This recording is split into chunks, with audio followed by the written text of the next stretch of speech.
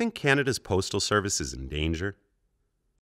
What if we told you that we could preserve Canada Post services and keep it profitable, all without costing taxpayers a nickel? Well, we can. The solution is postal banking, and it's already keeping postal services sustainable in most industrialized countries around the world.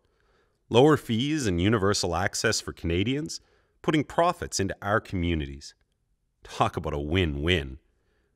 Isn't it time we had a bank for everyone?